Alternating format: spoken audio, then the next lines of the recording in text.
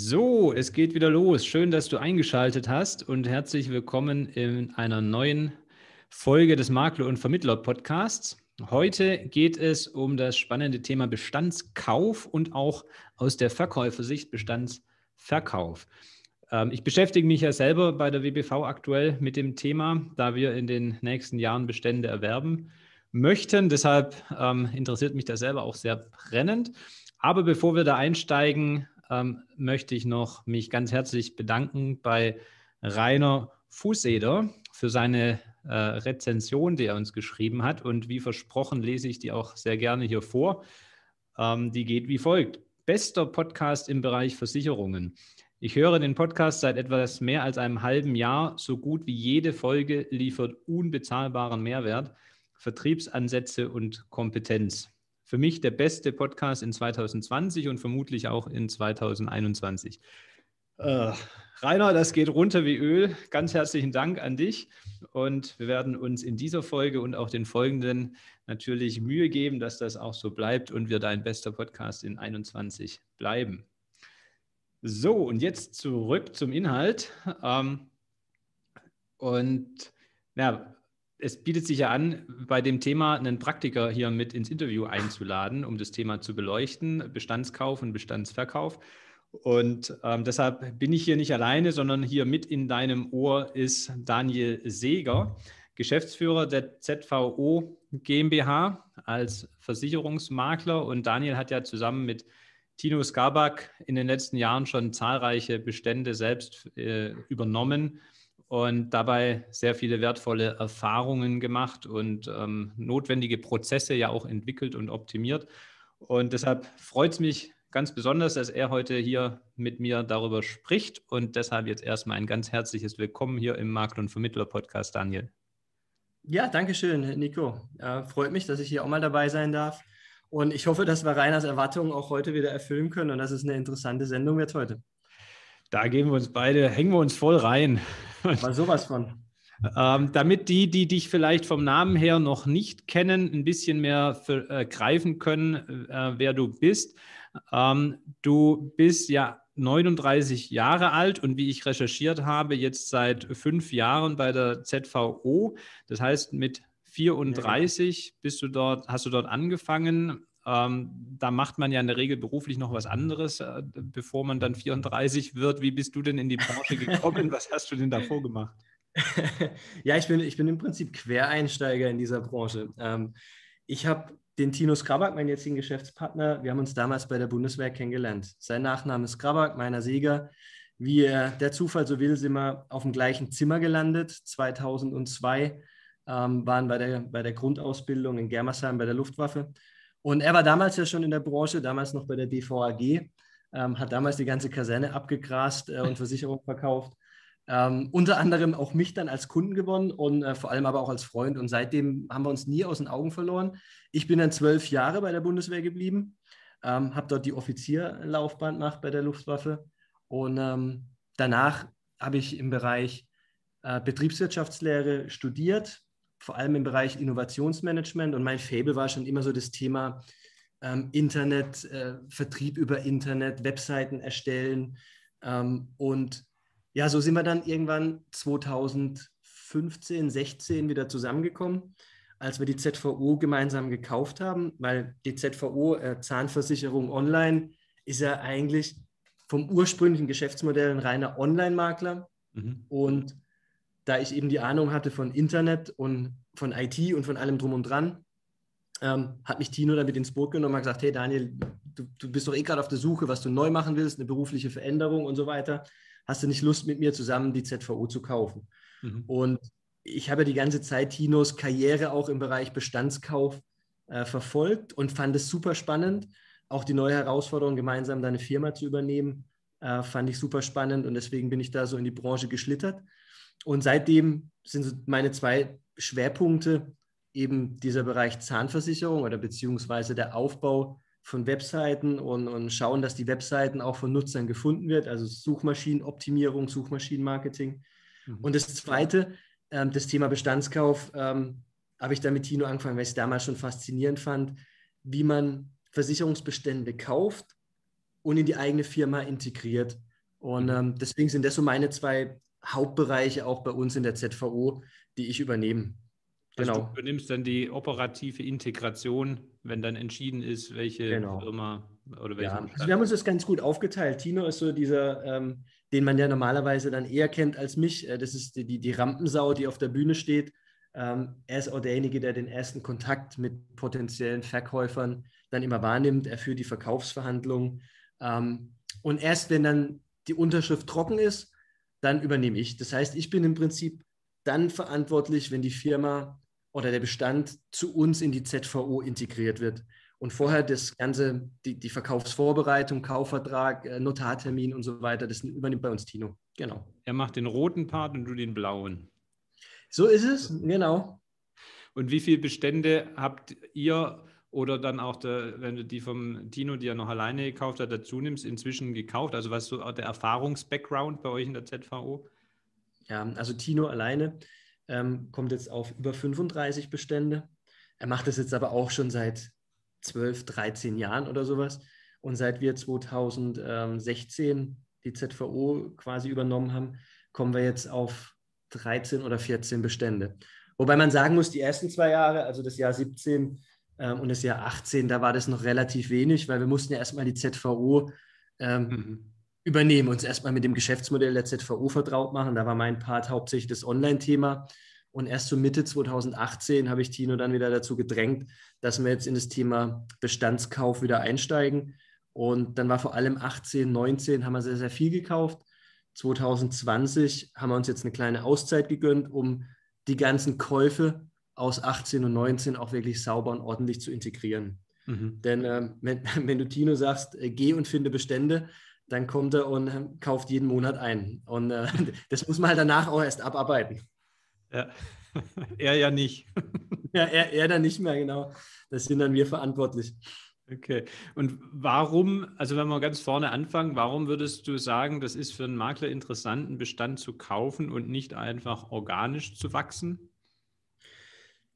Ja, das, der Leitspruch ist ja immer das eine tun, das andere nicht lassen.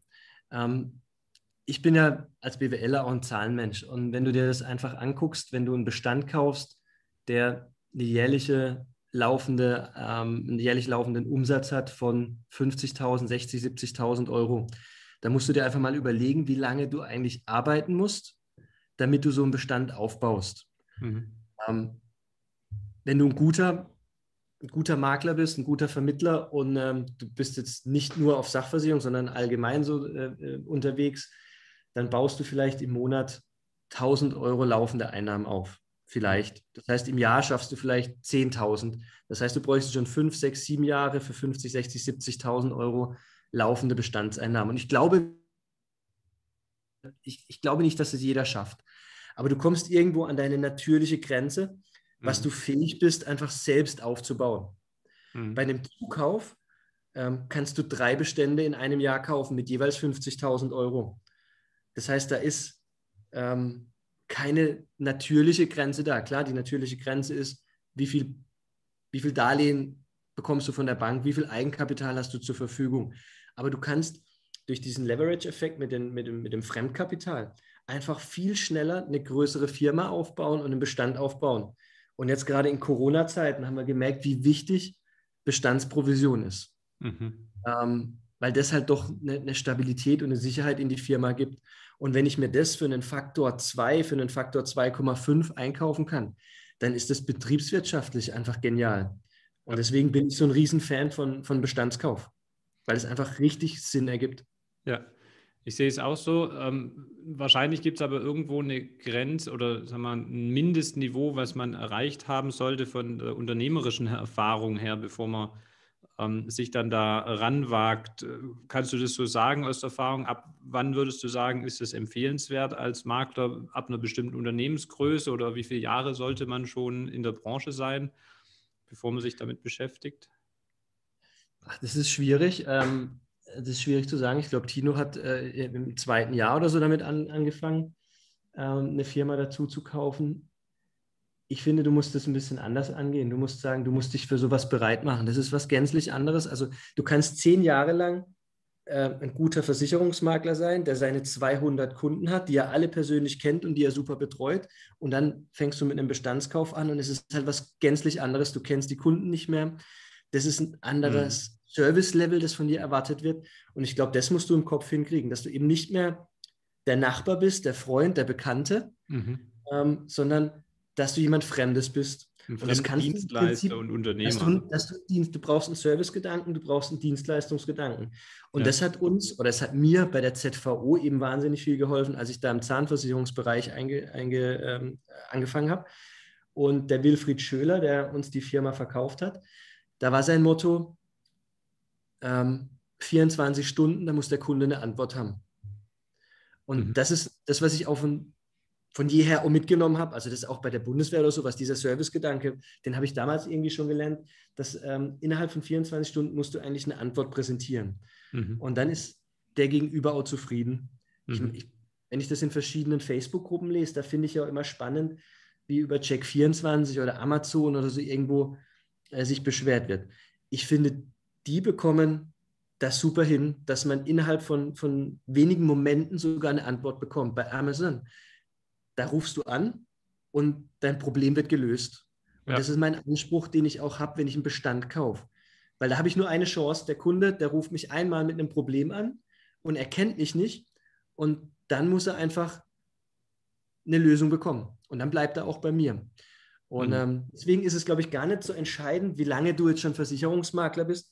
Vielleicht ist es sogar schlecht, wenn du schon 20 Jahre Versicherungsmakler bist. Genau. Ähm, und aber deine eigene Schiene hast und immer nur deinen dein normalen Stiefel machst, aber gar nicht über den Tellerrand rausguckst und guckst, was, was ein anderer Servicegedanke ist, wie bei Familien, Freunden und Bekannten. Ja, ist tatsächlich so, eine, jetzt wo ich drüber nachdenke, bei, so als Berater und Vermittler baut man sich also Schritt für Schritt die, die Kontakte auf und hat ausreichend Zeit, jeden persönlich kennenzulernen genau. und eine Beziehung zu festigen. Und bei so einem Bestandskauf, dann habe ich halt auf einen Schlag ein paar hundert neue Kontakte, die ich alle nicht kenne. Und wenn die sich das erste Mal melden bei dem Unbekannten, dann muss es halt sitzen. Und wenn ich dann genau. versage, da habe ich eigentlich nur die eine Chance, dann ist die Gefahr, dass sie abwandern. Aber ansonsten werden sie auch zufrieden sein wahrscheinlich. Genau, also das ist das Wichtigste. Und du musst ja noch nicht mal innerhalb des ersten Anrufs das Problem lösen. Aber du musst erreichbar sein und eine Reaktion eine, zeigen. Eine, eine Reaktion zeigen. Genau, einfach nur, ich kümmere mich um ihr Problem. Es kann jetzt aber eine Woche dauern, weil ich muss mit der Versicherungsgesellschaft reden. Ja. Oder ich schicke ein Schadensformular, danach dauert es aber ein bisschen. Man will ja einfach nur wahrgenommen werden als Kunde. Und ich glaube, erst im Schadensfall oder erst wenn irgendwo mal ein Service benötigt wird, da zeigt sich dann eben äh, das wahre Können und da trennt sich die, die Spreu vom Weizen. Und nicht Richtig. beim Abschluss der Versicherung. Das ist aber, ich meine, wem erzähle ich das? Das und weißt du sicherlich besser als ich. Da treiben, da treiben uns auch Amazon und Konsorten vor uns her, ja, ne, vor sich her. Und das ist auch äh, gut so. Also von denen kann man sehr viel lernen. Ähm, ja. Über sich, über die Beschwerden bringt jetzt weniger, das wird es nicht ändern. Aber die Kunden sind halt genau. dann diese schnellen Service gewohnt und da muss ich halt einfach mitspielen können. Genau. Also brauche ich Prozesse unternehmerische und halt nicht mehr genau. ähm, bei Zufall, Management bei Zufall. Genau, weil der Nachbar verzeiht es dir, wenn du zwei Wochen im Urlaub bist und sagst, ich melde mich in zwei Wochen, wenn ich aus Thailand zurück bin, wieder. Dann, ja. ja dann sagt der Nachbar, okay, klar, rennt mir jetzt auch nicht weg. Ja. Ähm, der Online-Kunde verzeiht sowas nicht. Ja. Und ähm, jetzt hast du, wenn man über Bestandskauf redet, ähm, haben wir ja ganz oft das Thema äh, dieser Faktoren. Du hast es gerade auch schon angesprochen beim Kaufpreisfaktor. Genau. Ähm, wie stehst du denn zu dem Thema? Es gibt ja ähm, Bestandsvermittler, die sagen, also das ist äh, Quatsch, hier in Faktoren zu rechnen. Es gibt ja riesen Unterschiede. Ähm, wie ist denn da eure Erfahrung bei dem Thema? Wie kann man denn sowas greifen? Naja, es ist natürlich, äh, du musst ja irgendwo eine Bewertungsgrundlage haben. Ja. Und da ist für mich äh, schon die, was kommt jedes Jahr an laufenden Quotagen rein, eine wichtige Größe. Ähm, wovon ich weniger was halte, ist Potenziale ähm, zu bewerten. Ja. Ich meine, das machen ja auch manche Verkäufer, die sagen, ich habe eine Vertragsdichte von 1,5. Das heißt, durchschnittlich haben in Deutschland äh, die, die Menschen fünf Versicherungen. Das heißt, du hast noch 3,5 Potenzial. Ja, aber wenn er es nicht gemacht hat, warum soll ich das Potenzial jetzt haben? Er kennt die Kunden, ich kenne sie gar nicht und ich soll aber dann diesen Schatz heben, von dem sie sprechen. Deswegen ist für mich einfach das Wichtigste, ähm, als Bewertungsgrundlage, wie viel kommt jedes Jahr an Geld rein auf dem Konto. Und zwar über die letzten zwei, drei Jahre. Wie hat sich das entwickelt? Ist es runtergegangen? Ist es hochgegangen? Ist da ein Wachstum von 10 Prozent? Äh, ist da ein Schwund von 10 Prozent pro Jahr? Dass ich so ungefähr ein Gefühl habe. Und natürlich ist dann, wenn, das, wenn du einmal die Bewertungsgrundlage hast, musst du darauf sagen, okay, ist mir das den Faktor 1 wert, den Faktor 1,5, den Faktor 2 oder den Faktor 15. Also das ist ja dann quasi ähm, deine Geschichte, wie du, wie du, wie nachhaltig du diesen Bestand bewertest. Mhm. Ich meine, wenn du eine Immobilie kaufst, äh, zahlst du momentan Faktor 25 oder Faktor 30 mhm. ähm, auf die monatliche, äh, auf die jährliche äh, Netto-Kaltmiete. Und der Verkäufer versucht ja auch das Potenzial der Immobilie zu verkaufen, ne, wenn sie runtergewirtschaftet genau. ist. Die hat ganz viel Aufwertungspotenzial. ja, genau. Die, die, kann man noch renovieren. ja. Und die, ja. Also ich finde es mit den Faktoren einfach sinnvoll. Und das, was am Markt bezahlt wird, ähm, ich glaube, es, es, schwankt ja so zwischen Faktor 1,5 und 2,5 ähm, aktuell. Manche sind sogar mit Faktor 1,5 noch super bedient, wenn, wenn, wenn der Verkäufer einen Kundenbestand hat. Ähm, wo keine Telefonnummer stimmt, wo keine E-Mail-Adresse stimmt, na, wie soll ich groß mit Kunden in Kontakt treten? Ja. Also das ist ja fast schon unverkäuflich, so ein Bestand, wo keine Maklermandate vorliegen mit Nachfolgeregelung. Ähm, da ist ja Faktor 1,5 ja sogar gut bezahlt. Ähm, aber es gibt auch top gepflegte Bestände, wo man auch mal an Faktor 3, 3,5 rangehen kann. 4, warum auch nicht? Also es liegt immer noch am Verkäufer, wie er seinen Bestand präsentiert äh, für den Verkauf. Und wie tief geht ihr da tatsächlich dann rein in die Analyse? Also Stichwort, ne, sind da überall Protokolle da? Und also da kann man sich ja, äh, oder ist es digitalisiert oder eben nur in Papierakten? Da kann, wir sind ja gewohnt, dass wir uns in Bedingungen reinfuchsen, ähm, ja. sodass es viele, es, es, reizt ja, sich da extrem tief rein zu analysieren, aber die Frage ist, ab wo ist da noch ein Mehrwert? Oder kann man das nicht vertraglich anders regeln? Ja, also ich meine, das ist natürlich, äh, je, je, höher der Kaufpreis, je größer die Firma, desto mehr prüfen wir natürlich auch. Mhm. Ich meine, 2019 haben wir eine Firma gekauft äh, mit einem Kaufpreis von 2 Millionen. Da prüfst du natürlich ganz konkret. Mhm. Da haben wir auch einen externen Unternehmensberater, den Dr. Peter Schmidt, engagiert, dass der mit uns ähm, diese Firma komplett durchleuchtet. Was ist da? Wie, wie ist der Bestand zu bewerten?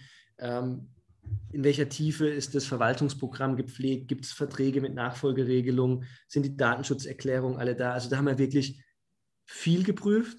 Mhm. Und dann haben wir aber auch einen Bestand gekauft 2019, wo uns der Verkäufer gesagt hat, es sind äh, 43.000 Euro äh, jährlich wiederkehrende Einnahmen. Da haben wir uns kurz Kontoauszüge zeigen lassen und eine, eine, eine Vertragsliste. Und dann war das quasi die Basis für den Kaufpreis und gut ist, da prüfen wir dann keine sechs Monate, sondern dann geht es wirklich quick and dirty. Mhm. Ähm, das kommt ja dann auch immer darauf an, wie man den, den Kaufvertrag strickt.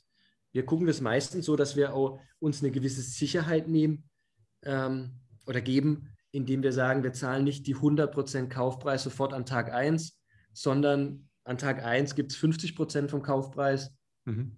Und dann eben nach einer gewissen Zeit gibt es erst die, die weiteren 50 Prozent, wenn wir wissen, dass das, was uns der Verkäufer gesagt hat, auch wirklich stimmt. Also mhm. grundsätzlich vertraue ich immer dem Verkäufer und wenn er sagt, er hat 50.000 Euro BP, dann glaube ich ihm das und mache auf Basis dessen den Kaufvertrag. Mhm. Wenn es aber später halt nur 40.000 Euro sind, weil der Verkäufer sich verschätzt hat, weil meistens sind es Schätzungen, ähm, dann gibt es halt nur auf die 40.000 Euro den Faktor, den wir vereinbart haben. Und dann gibt es die letzte Rate vom Kaufpreis einfach nicht, beispielsweise. Ja, also regelt quasi vertraglich, das sagt, ja. wir haben uns auf den Faktor X geeinigt, aber der Faktor X greift halt nur auf die Verträge, die auch tatsächlich übertragen werden. Genau, also nur auf das. Klar, wenn da zwei Kunden ähm, irgendwie widerrufen oder irgendwas, dann wir, ja. wir, vereinbaren ja auch meistens irgendwie so, wenn, eine, wenn, wenn eine Abweichung von 5% ist, dann mhm. geschenkt. Nur wenn es halt grob falsch ist und es eine Abweichung von 20%, dann möchte ich ja nicht, weil der Verkäufer gedacht hat, er hat 50.000 Euro jährliche BP, hat aber wirklich nur 40, dass ich dann auf die 50.000 den Kaufpreis bezahle. Das muss man einfach auch aus Verkäufersicht dann fair betrachten, ähm, weil oft ist es einfach so, dass die Verkäufer das schwierig einschätzen. Oder ja, ich, ich tue jetzt vielleicht Verkäufern Unrecht, wir hatten auch Bestandskäufe, da hat es fast auf den Cent genau gepasst, was der Verkäufer gesagt hat. Und genau das an BP ist innerhalb der ersten zwölf Monate angekommen. Wir hatten aber auch schon Abweichungen von 40 Prozent. Mhm. Also das ist echt viel. Also es passiert halt, ne? da muss ich auch darauf vorbereitet passiert, sein. Genau. Aber meistens sind die Verkäufer dann auch, dann spricht man mit denen und sagt, hey, komm mal, du hast gesagt, ähm, ein, ein, konkretes Beispiel, wir haben Bestand gekauft, da hat der Verkäufer gedacht, das sind 200.000 Euro laufende Einnahmen. Nach einem Jahr kamen ungefähr 135.000 Euro bei uns aber am Konto nur an. Das ist schon eine echt große Abweichung. Mhm. Und dann haben wir mit dem Verkäufer gesprochen, wir haben eine faire Lösung gefunden. Ähm, und er hat ein bisschen nachgegeben, wir haben ein bisschen nachgegeben. Im Endeffekt war es trotzdem für beide ein gutes Geschäft. Und man muss einfach miteinander reden. Das, das passt dann auch. Ist auch wieder so ein bisschen, auch glaube ich, der Effekt wie bei den Immobilien, wenn eine Wohnfläche angegeben wird und du misst die ja. nach, dann weicht die in der Regel auch von der Angabe ab, aber komischerweise weicht die immer nur nach oben ab. Und äh, da, sagt man ja auch, bis zu einem gewissen Grad ist okay, aber irgendwo so ab äh, 2, 3, 5 Prozent sollten wir dann nochmal drüber reden. Genau. Wenn es nicht passt. Und, und, sowas kann man alles vertraglich auch wirklich regeln. Ähm, das, das, kann man fair regeln, dass man den Faktor im Kaufpreis einfach mit aufnimmt ähm, und die zu erwartende Bestandsprovision. Ja. Und jetzt hast du ja angesprochen, es ist durchaus interessant zu sagen, ich hebe äh, das ganze Thema, indem ich äh, zusätzlich zu meinem Eigenkapitaleinsatz eben mit Fremdkapital über Bankenfinanzierung arbeite. Ähm, wenn man sowas plant, ab wann ist es denn empfehlenswert, mit der Bank ins Gespräch zu gehen, wenn schon das Angebot vorliegt oder sollte man das vorab mal machen, um überhaupt seinen Rahmen zu kennen? Na, ich würde sagen, dass du also direkt am Anfang, wenn du sagst, ich habe Interesse an einem Bestandskauf, dann gehst du zu deinem Banker und sagst, hey, ich würde dir mal gerne mein Geschäftsmodell erklären, weil die Banker wissen ja meistens gar nicht, wie das Geschäftsmodell von einem Versicherungsmakler funktioniert. Die kennen den Unterschied nicht zwischen Abschlussprovision und Bestandsprovision. Mhm. Und ähm, deswegen schon, wenn du die Idee für einen Bestandskauf hast, geh zu deiner Hausbank und erklär denen das Modell und sag dann, hey, ich würde vielleicht 20, 30 Prozent Eigenkapital einbringen. Ähm, würdet ihr mir 70 Prozent finanzieren, wenn ich was für 100.000 bekomme? Oder bis zu welchem Betrag könntet ihr mich denn finanzieren? Mhm. Das macht auf jeden Fall Sinn und nicht erst, naja, jetzt habe ich hier was und dem Verkäufer habe ich schon zugesagt und jetzt gehe ich zur Bank und frage mal, ob ich Geld kriege. Da, da, da freut sich der Banker. Ja, meine, da brauche ich dann wahrscheinlich zwei Termine. Ne? Einmal muss ich denen ja. halt grundsätzlich die Strategie erklären, um mal den grundsätzlichen Rahmen abzustecken, aber dann wollen die sicherlich den Einzelfall dann nochmal prüfen. Genau so ist es. Ja. Okay. Also die wollen dann schon wissen am Anfang, wer bist denn eigentlich du? Also du musst ja dich erstmal selbst verkaufen bei der Bank. Wenn du noch nie ein hm. Darlehen gebraucht hast, dann musst du dich ja mal vorstellen ähm, und sagen, ich bräuchte jetzt zum ersten Mal vielleicht ein Darlehen, das ist mein Geschäftsmodell, das würde ich gerne noch machen. Ich möchte mir eine Firma aufbauen, indem ich Versicherungsbestände kaufe. Was ist das eigentlich? So dass man generell mal versteht, wer eigentlich da gegenüber ist und warum der Geld braucht und dann später eben, das ist der konkrete Einzelfall und jetzt brauche ich 50.000 Euro, damit ich mir was einkaufen kann. Ja. Genauso ist es. Und jetzt gibt es ja den Unterschied beim Einkaufen zwischen äh, den fachchinesischen Asset Deal und Share Deal. Willst ja. du da mal, Entschuldigung, willst du da mal äh, den Unterschied kurz erläutern? Ja, klar, also im Prinzip ähm, ist es eine, ein, ein Asset Deal, das ist der, der klassische Bestandskauf. Das heißt, der Versicherungsmakler A verkauft seine ähm, Kunden und Verträge an den Versicherungsmakler B. Da geht dann nur der Kundenstamm über und die, im Prinzip werden die Versicherungsverträge oder die, die Courtageansprüche aus den Versicherungsverträgen äh, verkauft.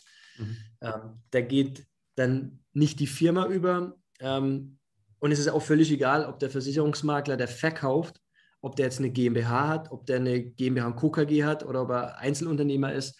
Das ist völlig egal. Ähm, ein Asset-Deal geht im Prinzip immer. Mhm. Und das andere, was du meinst, ist der Share-Deal. Das ist, wenn eine Kapitalgesellschaft, also ein Anteilsverkauf stattfindet. Mhm. Das heißt, ich gehe zum Notar und kaufe an der GmbH einfach die Anteile. Das ist ähm, vom Handling her einfacher. Mhm. Der Verkäufer, der noch Anteilseigner an der GmbH ist, verkauft mir einfach 100% seiner Anteile. Das dauert genau einen Notartermin und dann bin ich der neue Geschäftsführer und ich bin der Gesellschafter. Also mhm. Geschäftsführer muss ich ja nicht mal unbedingt sein, das kann ja jemand anders sein, aber ich bin der Gesellschafter und Eigentümer quasi der GmbH. Mhm. Das ist der Share Deal. Mit allen Rechten und Pflichten dann halt. Ne? Übernimmst du die ganzen Rechten bestehenden genau. Verträge, genau. Mitarbeiter, ja. Autos, äh, Telefon. Mitarbeiter, Autos, Leasingverträge, Telefon, äh, Internetdomains, äh, ja genau, alles mit Hund, Katze, Maus. Und da prüft man dann natürlich auch meistens ein bisschen mehr. Aber auch mhm. wieder größenabhängig. Also ähm, da wie gesagt, Gerichtsverfahren oder ähnliches. Ja, das, also ich meine, du kannst dich auch bei einem, auch bei einem Share-Deal von 200.000 Euro kannst du dich nicht tot prüfen. Also du kannst gar nicht alles durchleuchten, aber dafür gibt der Verkäufer auch Garantien ab. Also du gibst ja auch die, du kannst ja im Kaufvertrag aufnehmen, dass keine Gerichtsverfahren anhängig sind, dass kein Insolvenzverfahren äh, äh, eröffnet ist, dass er immer sauber gearbeitet hat, dass er äh, dass, dass immer Beratungsdokumentationen geführt werden. Du kannst dich da schon absichern. Mhm. Ähm, aber desto größer es ist, umso genauer prüfst du natürlich auch.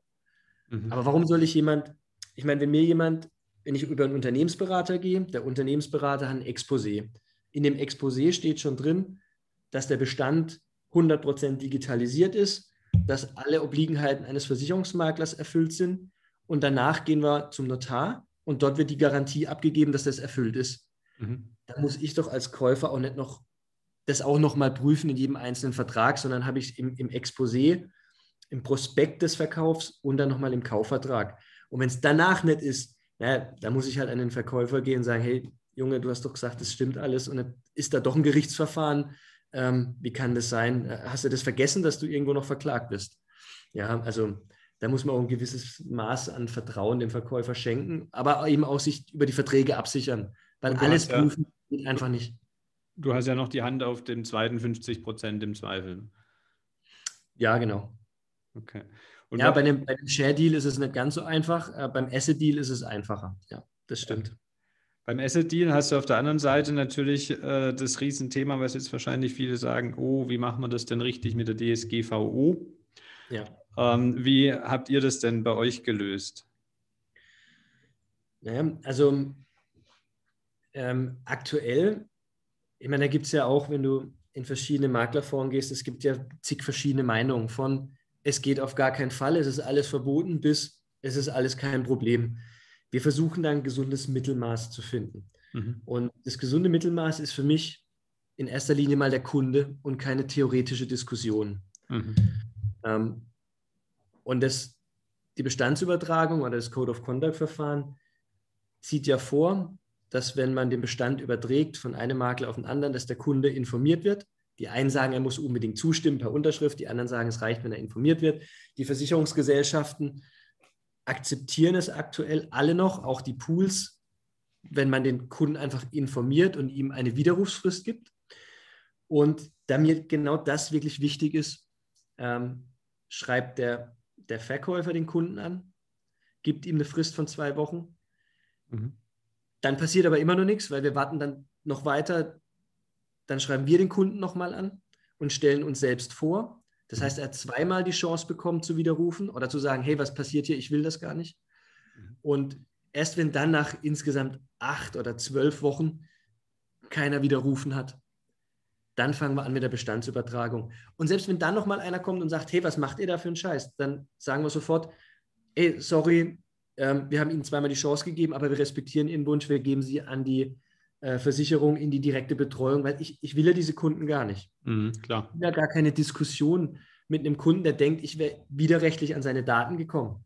Ja. Und bis jetzt hatten wir in den ganzen Fällen, werden einmal eine Anfrage von dem Landesdatenschutzbeauftragten.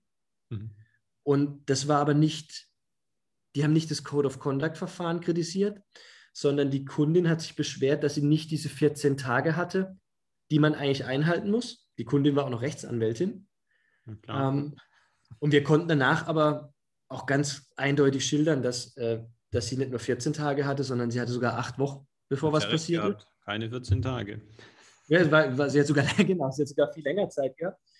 Ähm, und die Kundin kam auch nie zu uns, weil der Widerruf kam an. Und in dem Moment, wo der Widerruf ankommt, löschen wir die oder löscht der abgebende Makler die ja auch sofort aus der Liste raus, die uns übergeben wird. Wir überprüfen auch, dass wir wirklich nichts von dieser Kundin haben. Und wir haben da alles richtig gemacht und die Landesdatenschutzbeauftragte hat da auch überhaupt nichts kritisiert. Die hat gesagt, okay, es war alles in Ordnung. Die hatte nur am mhm. Anfang, weil sie gedacht hatte, zwischen Schreiben und zwischen ähm, Übertragung waren keine 14 Tage.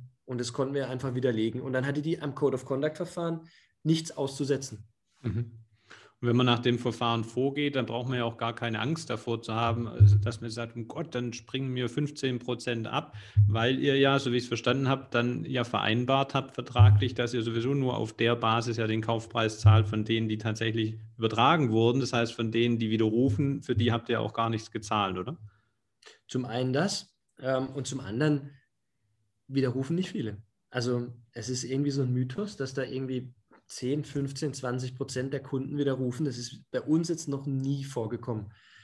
Ähm, wenn da mal 2 Prozent widerrufen, dann ist es echt viel. Das mhm. ist eher, wenn wir, wenn wir 1000 Leute anschreiben, dann melden sich vielleicht 10 und fünf davon wollen nur wissen, was das eigentlich ist, was da gerade passiert. Mhm. Ähm, und die anderen fünf, die ruft der Verkäufer dann nochmal persönlich an und klärt es mit ihnen und dann sind zum Schluss vielleicht zwei, die wirklich widerrufen. Mhm. Weil den meisten geht es ja nur darum, dass ihre Versicherungsverträge auch ordentlich betreut werden danach. Und das ja. ist das, was ich anfangs schon meinte. Wenn du da einen guten Service darstellst und auf den Kunden eingehst, dann ist er zufrieden. Der ja. will doch einfach nur wissen, dass seine Haftpflicht auch im Schadensfall in guten Händen ist. Ja.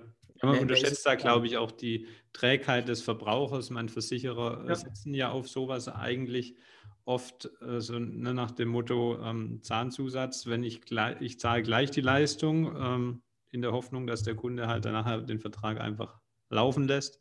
Ja. Ähm, oder wir merken es ja selber, wenn man, wenn man einen Kunden anschreibt, wie dann die, der Response ist. Also die Menschen sind ja träge und in dem Fall äh, wirkt es ja zum Guten dann.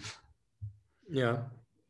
Das heißt aber, unterm Strich entscheidend ist ein guter Kaufvertrag, in dem all diese Eventualitäten äh, bedacht und geregelt sind. Ja, also ein fairer Kaufvertrag. Ja. Ich will jetzt auch nicht propagieren. Ja, für beide Seiten geregelt sind. Ne? Genau, also das ja, ist das immer schwierig. Ähm, es sind ja zwei unterschiedliche Interessengruppen, der Verkäufer und der Käufer. Ja. Und ähm, wir haben jetzt ja auch in unserem, wir haben einen Videokurs gemacht und da haben wir auch unsere Kaufverträge, äh, wie wir sie haben, offengelegt äh, an unsere Kursteilnehmer und haben es denen bereitgestellt. Und wir haben da keinen Kaufvertrag gemacht, der pro Käufer ist, der so, also der wirklich nur eine Seite bevorteilt, sondern einer, der fair ist. Ja. Weil es kommt, also wir schreiben auch in Kaufverträge rein, wenn später die Bestandsprovision im ersten Jahr nicht 50.000 ist, sondern 60.000, dann zahlen wir dir sogar mehr Kaufpreis. Ja, macht ja Sinn. Also ja. nicht nur eine Reduzierung, sondern auch eine Erhöhung des Kaufpreises vereinbaren wir. Gerade wenn so eine BP grob geschätzt wird, und der Verkäufer gar nicht sagen kann, wie viel es genau ist, dann sagen wir, hey, dann lass uns ungefähr eine Schätzung machen und wenn es mehr ist, zahlen wir dir danach um mehr mit der letzten Rate. Und das finde ich einfach fair, dass man sich auf Augenhöhe begegnet und nicht versucht, den anderen zu übervorteilen.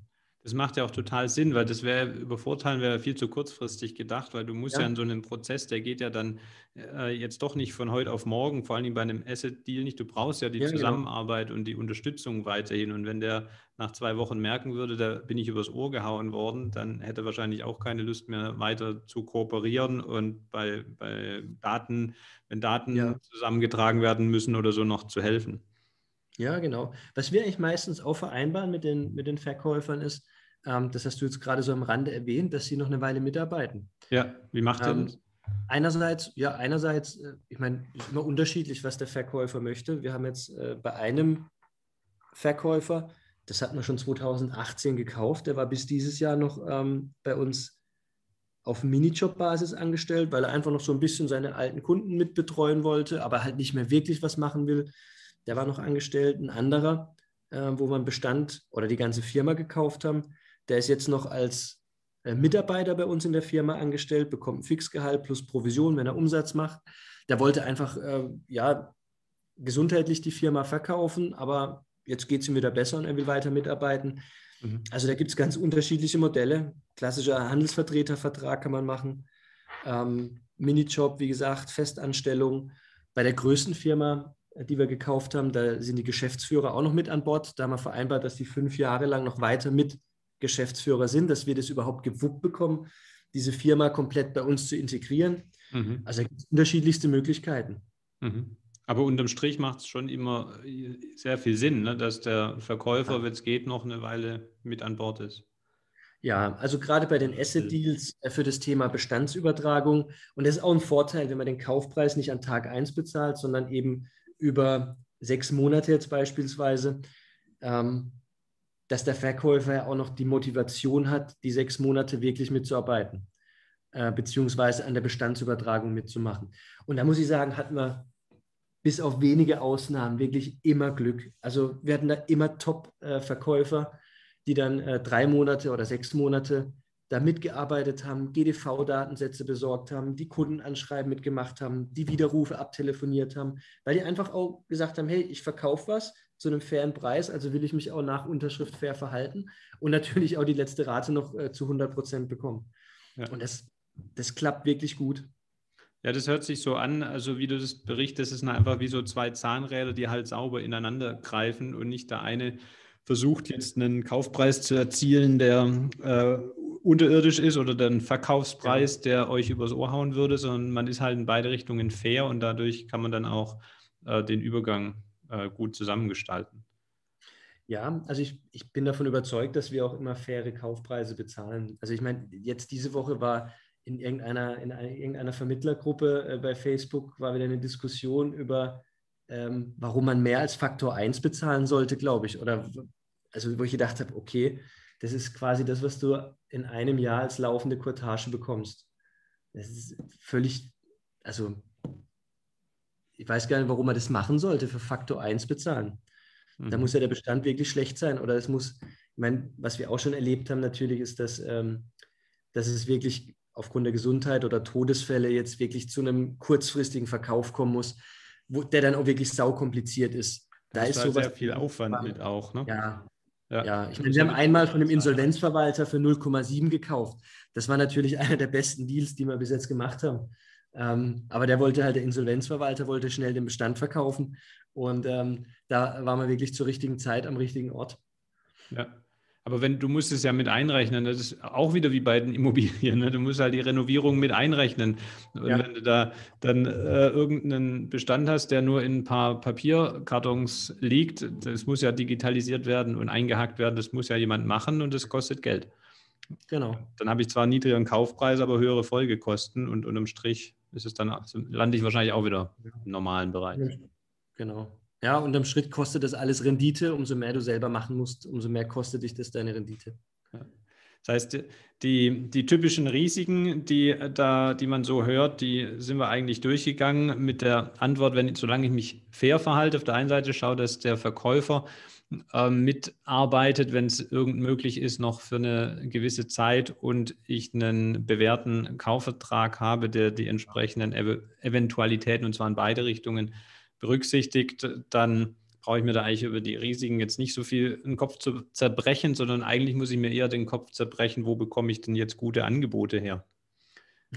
ja, das ist in der Tat so. Es werden ja immer mehr Käufer. immer mehr, äh, immer, es werden ja immer mehr Käufer. Immer mehr ähm, haben, haben die Idee als gut befunden und sagen, hey, okay, ein Bestandskauf ist echt was Cooles, möchte ich machen. Ja, wie, was würdest du jetzt jemandem empfehlen, ähm, wie wären die ersten Schritte, um sich da mal reinzuarbeiten? Ja, also das ist ja, ähm, das ist, ist ja Tinos Bereich und ich versuche jetzt mal ihn zu rezitieren, ohne es äh, zu flapsig zu machen. Ja. Ähm, Im Prinzip muss jeder wissen, dass du kaufen willst. Das ist mal die Grundvoraussetzung. Ja. Ähm, es gibt gute Unternehmensberater, der Dr. Peter Schmidt, ähm, der Andreas Grimm, die wir jetzt schon genannt haben. Mhm also bei den beiden sich einfach mal listen lassen. Aber es bringt auch nichts, wenn du dem einmal sagst, du willst was kaufen, sondern es ist ja schon ein bisschen mehr Austausch dort bei denen auch notwendig. Dann mhm. kannst du deinen Maklerbetreuern, die du jetzt schon hast, kannst du einfach sagen, wenn ihr jemanden aus der Gegend habt, äh, denkt doch mal an mich. Mhm. In den Facebook-Gruppen. Es kommt ja auch immer mehr, so wie du. Äh, du hast jetzt ja, glaube ich, auch kürzlich irgendwo geschrieben, dass du jetzt auch dabei bist, ähm, Bestand zu kaufen. Mhm. Jetzt wissen es die Leute. Also es weiß jetzt zwar nur eine kleine Gruppe und es muss es immer wieder sagen, aber jetzt wissen es auch alle Podcast-Hörer. Ja. Jetzt wissen es auch alle Podcast-Hörer, dass du auch mal einen Bestand kaufen möchtest. Ja. Ähm, und du musst einfach im Gespräch bleiben. Immer wieder. und du darfst nicht zu wählerisch sein. Wenn du sagst, du willst den Bestand, der nur 10 Kilometer weit entfernt ist, eine Vertragsdichte von 2,5 hat, ich will aber nicht mehr als Faktor 2 bezahlen und es dürfen nur KV-Zusatzverträge äh, im Bestand sein. Klar. Ja, dann ist die Wahrscheinlichkeit, dass du was findest, äh, ziemlich gering. Ja. Wenn du aber sagst, ja, ich nehme einfach, was kommt und ich höre mir es mal an, dann ist die Wahrscheinlichkeit halt umso höher. Das würde ich auch sagen. Reden kann man immer mal, ne? Ja. Das heißt, wenn wir jetzt mal, dann springen wir doch mal auf die Verkäuferseite. Ja. Ähm, wann sollte ich denn als Verkäufer beginnen, mich mit dem Thema auseinanderzusetzen, wenn ich weiß, okay, ich will irgendwann meinen Bestand mal veräußern? Ab wann sollte ich mich darauf vorbereiten? Ja, pauschal so früh wie möglich. Also sobald du die Entscheidung getroffen hast, dass du mal verkaufen möchtest, ähm, kann man ja schon einiges dafür tun. Ich fange mal andersrum an. Wenn wir einen Bestand angeboten bekommen, dann ist es oftmals so, dass der Verkäufer, ähm, wenn du ein Auto verkaufen willst, mhm. dann gehst du, bevor du das Auto verkaufst und bei ähm, Autoscout irgendwo einstellst, lässt du den TÜV machen, du guckst, dass die Reifen aufgepumpt sind, du guckst, dass die Rostflecken irgendwie überdeckt sind, es ist frisch geputzt und dann machst du schöne Fotos davon. Mhm. Der typische Versicherungsmakler, oder nicht der typische, das ist immer so pauschalisiert, Angebote, die wir bekommen haben, da denkst du, ey, das sind platter Reifen, der TÜV ist abgelaufen, es ist gerade durch den Matsch gefahren und hat noch drei Dellen. Man muss aber Neupreis. aber, aber ich will Neuwagenpreis, genau, aber ich will Neuwagenpreis. Äh, Porsche. Ja. Und das ist manchmal so diese Diskrepanz. Und wenn man sich irgendwie drei, vier, fünf Jahre vor dem Verkauf schon mal damit auseinandersetzt, wie habe ich in fünf Jahren eben ein Porsche und kein Dacia, dann kann man da auch schon sehr viel für tun. Dafür muss man einfach wissen, ähm, wie Käufer ticken und auf was Käufer gucken. Mhm. Weil das, was ich aufgebaut habe, kann für mich schön wirken. Zum Beispiel, ich nehme jetzt mal mein, mein Lieblingsbeispiel, ähm, Konzepte. Ich habe einen Bestand, der ist für den Kunden vielleicht super, weil ich tausend Konzepte und Rabatte und alles Mögliche drin habe. Der ist für mich als Käufer aber fast unbrauchbar, weil ich die ganzen äh, Konzepte gar nicht zu meinem Pool übertragen kann. Ich bin bei Blau direkt. Ich mhm. möchte meinen Bestand zu Blau direkt bringen. Mhm. Ein FEMA-Konzept, ein VFM-Konzept, oder ein Bestand, der komplett bei der Vorfinanz oder äh, bei irgendeinem anderen Pool liegt, der bringt mir natürlich deutlich weniger, als wenn irgendwas schon bei Blau liegt. Ah. Das heißt, du musst dich mal überlegen, wer ist die Zielgruppe an potenziellen Käufern und auf was schaut diese Zielgruppe? Ja. Was ist denen wichtig und wofür zahlen die mehr Geld? Das ist, glaube ich, der elementare Unterschied zwischen einem guten Verkäufer und einem schlechten Verkäufer. Die guten Verkäufer haben ihren Bestand aufpoliert. Und der ist richtig hübsch und den kauft jeder gerne. Und ähm, wir würden da bis zu Faktor 4 bezahlen für einen richtig guten Bestand, der genau unserem Muster entspricht. Weil du wieder, ja wieder die Folgekosten sparst. Und ich, genau. ich glaube, glaub, es ist auch nicht so, dass die ja absichtlich sagen, ich fahre da das verbeulte Auto vor, um dein Bild zu bleiben, sondern dass sie einfach gar nicht wissen, worauf denn äh, genau. der Käufer schaut, weil man halt in seinem Betrieb lebt. Das ist das eigene Baby, das ist sowieso toll und bisher halt nicht rechts und links geschaut hat. Und da ist es, denke ich, wichtig, dann im ersten Schritt erstmal zu gucken, was interessiert denn so ein Käufer und dann zu schauen, wo sind da meine größten Mängel und wie kann ich die beseitigen. Genau. Es ist ja auch nicht jeder Käufer gleich. Also es gibt ja bestimmt auch ähm, erfolgreiche Versicherungsmakler äh, bei der FEMA, die an Bestandskauf interessiert sind. Wenn dann ein mhm. Verkäufer ein FEMA-Konzept, also auch FEMA-Makler ist und viele FEMA-Konzepte hat, dann mhm. passt es wie Faust aufs Auge. Ja. ja. Also es ist, ist, ja immer, es müssen sich einfach die zwei finden, die zueinander passen. Aber zwei Punkte kann man da vielleicht rausgreifen. Das eine, was mir einfällt, wäre, was ist, ist denn euch als beispielhaft als Aufkäufer lieber, wenn der Kunde äh, 80 Direktanbindungen hat oder wenn der alle Geschäfte über einen Pool einreicht? der Verkäufer. Ja, also natürlich ist, wenn das über einen Pool einreicht, immer besser. Dann hast du auch diese ganze Datenschutzthematik, ist viel einfacher. Die Code of Conduct Übertragung ist, ist deutlich einfacher. Mhm. Ähm, also wenn in unserem Fall jetzt, wenn wir einen Makler finden, der schon alles bei Blau direkt hat, hey, wäre für mich, wäre für mich toll. Traum, ne? Ähm, Wäre für mich ein Traum, genau. 80 Direktanbindung bedeutet für mich 80 Mal eine Bestandsübertragung veranlassen, 80 Mal GDV-Datensätze besorgen, 80 Mal Datenpflege im Programm machen. Das ist, das ist ein Renditekiller. Mhm. Ähm, aber das ist jetzt so, wie Daniel kaufen würde, worauf Daniel achtet und wann Daniel mehr Geld bezahlt. Ja. Ähm, gibt auch die anderen, die sagen, Pools sind Teufel und ich will überhaupt nichts mit Pools zu tun haben. Als Bestandskäufer kann ich das zwar nicht verstehen, weil wenn du mehrere Bestände kaufst, dann hast du mal fünf Verträge bei der Pfefferminzia und drei Verträge hier und zwei Verträge dort. Und wenn ich die nicht ohnehin schon habe, die Direktanbindung, dann müsste ich jetzt für diese drei Verträge eine eigene Direktanbindung machen. Mhm. Das, das, das wäre für mich ein Desaster. Mhm. Also spätestens, wenn du wirklich professionell Bestände kaufst, brauchst du im Prinzip eine Poolanbindung. Mhm. Verstehe. Und die, das andere Thema ist, ähm, wie schwer wiegt es für euch, wenn, oder was euch das Liebste? Wir haben auf der einen Seite, der, wir haben noch ganz viele Papierakten jetzt bei einem Verkäufer, der hat alle äh, Leitsordner da stehen. Der andere hat ja. alles schon perfekt in einem MVP integriert. Und dann gibt es ja noch die dritte Variante, ich habe es digitalisiert, aber halt, sag mal, in einer eigenen Explorer-Dateistruktur. ja. Äh, auch da kommt es drauf an, wenn einer mein Maklerverwaltungsprogramm hat und er hat dort alles äh, digitalisiert. Also ich nehme jetzt wieder mein Beispiel, ich bin bei Blau und der abgebende Makler hat alles in der Ameise. Äh, Hammer, wäre saugeil. Ja. Wenn er aber alles in AMS hat, dann habe ich schon wieder ein Problem, weil ich muss es ja aus AMS rauskriegen. Ich muss ja die Daten, die Daten sind sogar weniger ein Problem und muss ja unterscheiden zwischen Daten und Dokumente. Daten ist eigentlich völlig egal. Daten sind banal, kann ich überall über, über äh, Export-Import-Funktionen lösen. Mhm. Ähm, aber Dokumente, die einem Kunden in einem Maklerverwaltungsprogramm zugeordnet sind, die dort rauszubekommen und in ein anderes Maklerverwaltungsprogramm importieren, das ist äh, echt ein Riesenaufwand. Also Dann wäre die Ordnerstruktur das, einfacher. Ne? Da ist die Ordnerstruktur einfacher, da ist sogar der Leitsordner einfacher.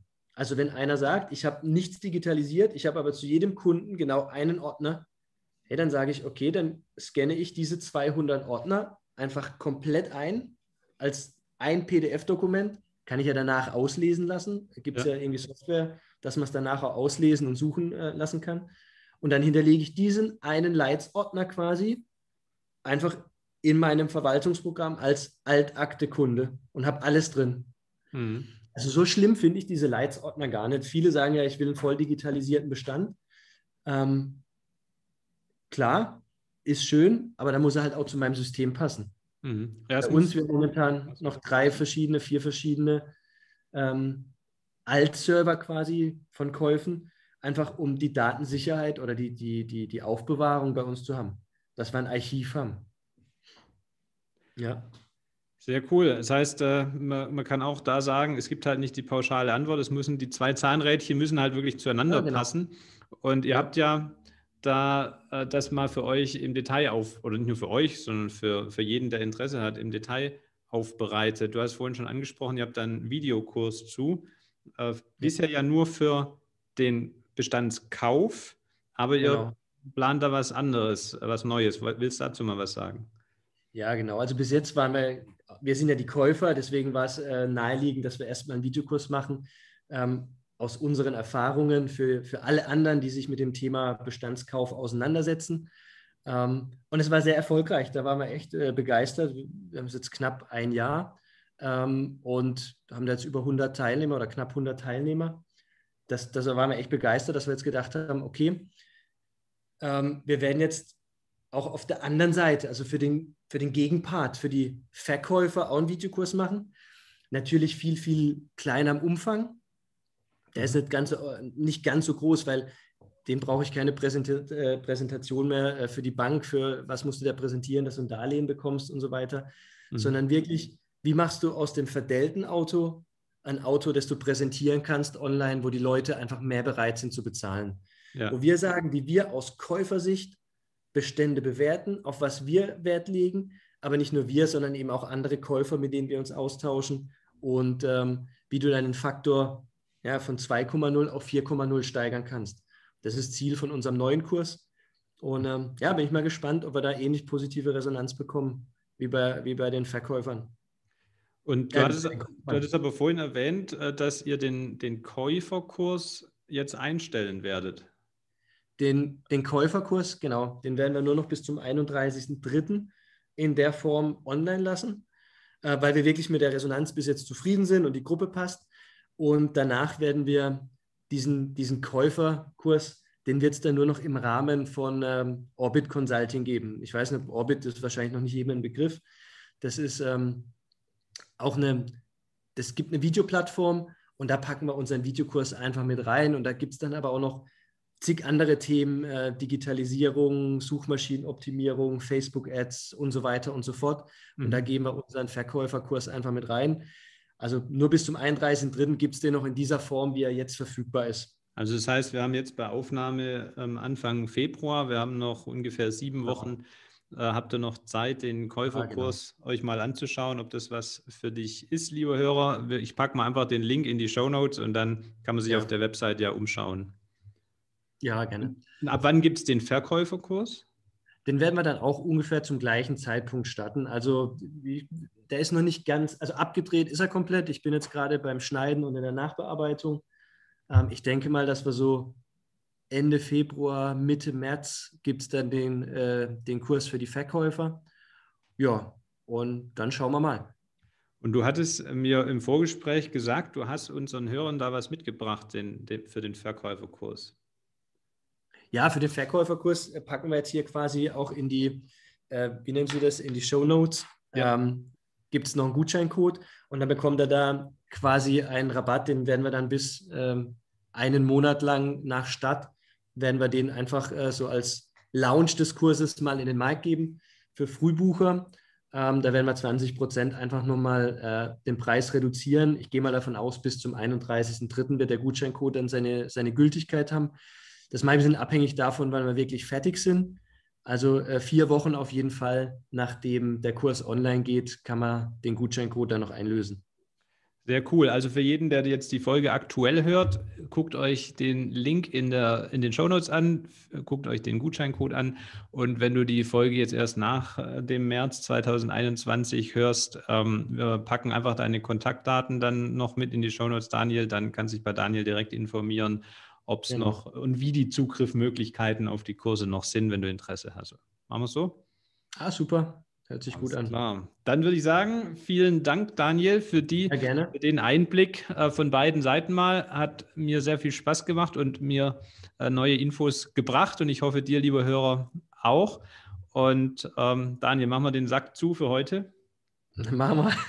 Okay. Dann Machen wir auch. verabschiede ich mich schon mal. Du hast dann das äh, letzte Wort an die Hörer. Ich sage auf jeden Fall vielen Dank fürs Dranbleiben und Zuhören. Und ähm, wenn du keine weitere Folge verpassen willst, dann komm auf unsere Website vertriebsansatz.de. Da kannst du dich in den Newsletter eintragen und dann werden wir dich immer aktiv auch informieren, wenn wieder eine neue Folge online ist. Für heute sage ich Tschüss und wir hören uns in der nächsten Folge. Ja, ciao, ciao.